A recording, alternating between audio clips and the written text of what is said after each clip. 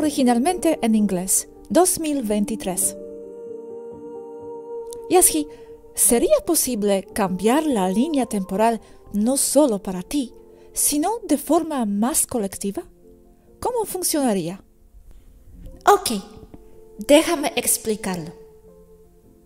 No existe nada más que una conciencia magnífica.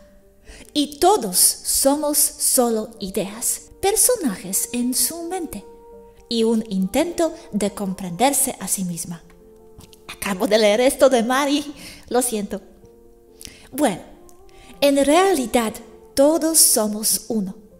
No es un concepto espiritual, no es filosofía.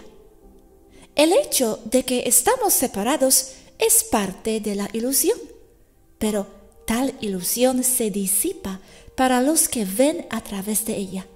Y los que pueden es porque tienen una conciencia más elevada.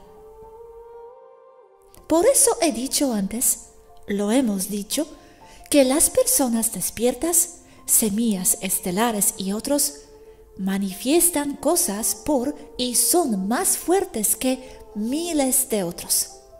Quiero decir, una persona despierta puede tener el poder de manifestación de la realidad de miles o más en proporción directa a su poder, su comprensión y capacidades. Las personas, por ejemplo, en la Tierra, no están separadas, como en cantras pensantes que no tienen nada que ver unos con otros. Existe una conciencia colectiva muy real. Por eso la gente coincide en percibir las cosas, la realidad, de la misma manera. Acuerdos de percepción. Todos están conectados dentro de un campo de conciencia pura a través de los éteres. Como múltiples piedras lanzadas al mismo estanque crean sus propias ondas y al mismo tiempo crean todo lo que mueve la superficie del agua en ese estanque. Están solos desde un punto de vista y no desde otro más expandido. En la Tierra, la separación entre las personas es ilusoria, pero todas están muy conectadas. Luego, tenemos el uso de la telepatía.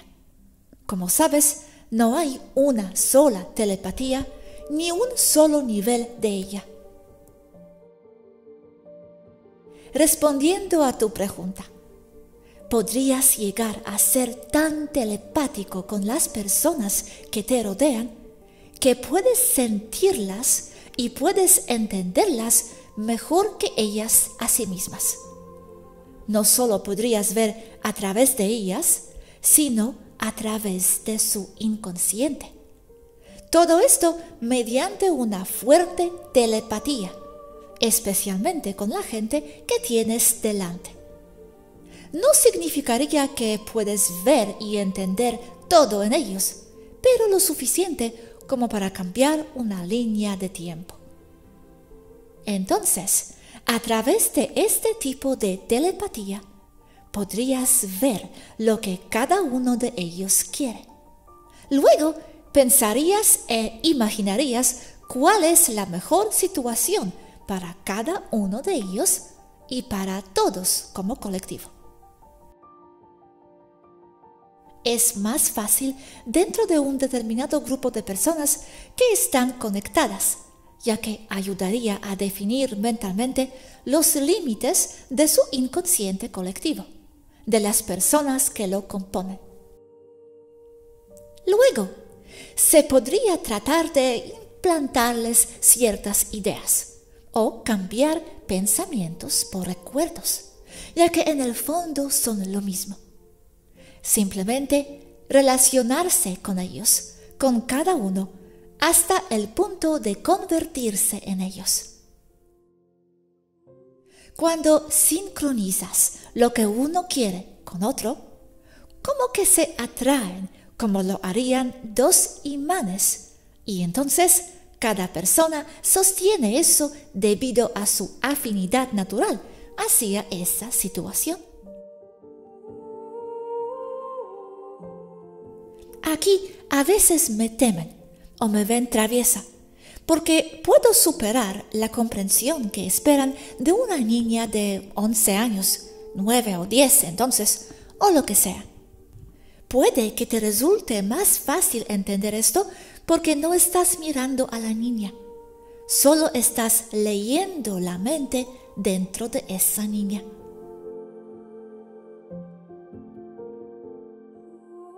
No es tan difícil de hacer cambiar una pequeña línea de tiempo dentro de un cierto colectivo. De eso están hechas las líneas temporales de mente y percepción. No existen.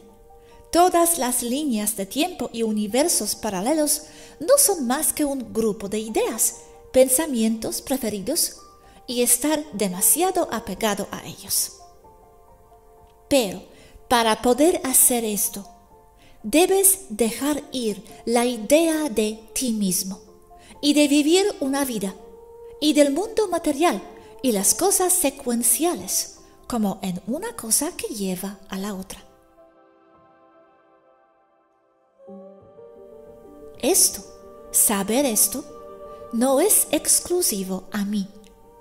Incluso el cabal en la tierra lo sabe, ya que eso es lo que hacen con la gente, con la población de la tierra. Controlan sus mentes hasta el punto en que todos manifiestan la misma realidad para todos ellos. Y ese es el reto para las almas en la tierra.